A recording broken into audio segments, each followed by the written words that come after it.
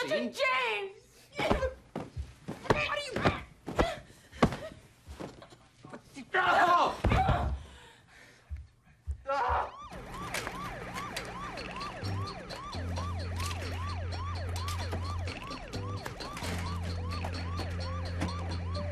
Last year in Canada, there were 4,228 patients hospitalized for injuries related to their pants.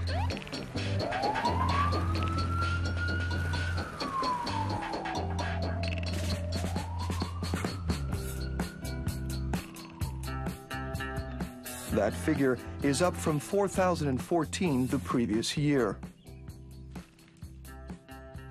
A man should never be wearing only a sock. This is not an insignificant increase. Compare it to a British report showing that vegetable-related injuries were up less than one-tenth of a percent last year. She makes men walk in a post, but you can't hit her, you know? Can?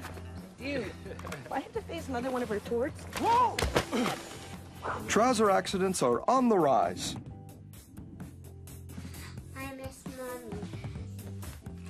Of course, one could argue that trousers themselves are on the rise. Greek vases from the 6th century depict men in long pants.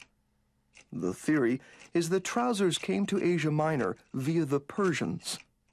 The Germans adopted breeches as early as 700 BC.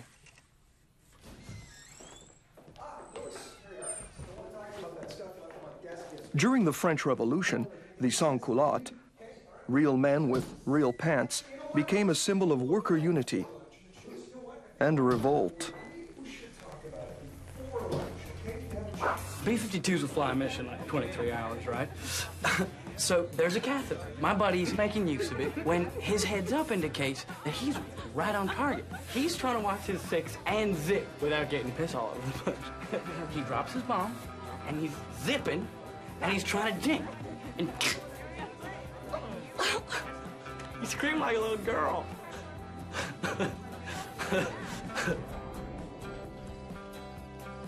Of course, the most common trouser accidents are underreported. They go unrecorded and are often thought of primarily as injuries of other sorts.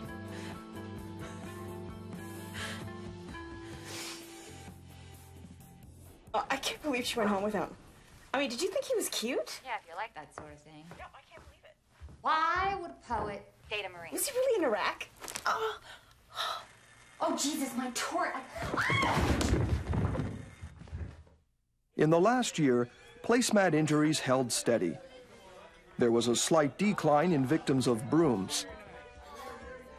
Vending machine injuries reached an all-time high.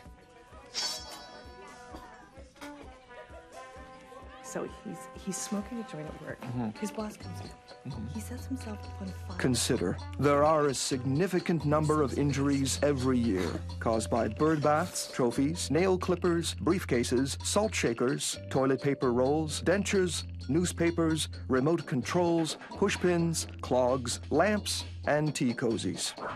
Ordinary things can be very dangerous.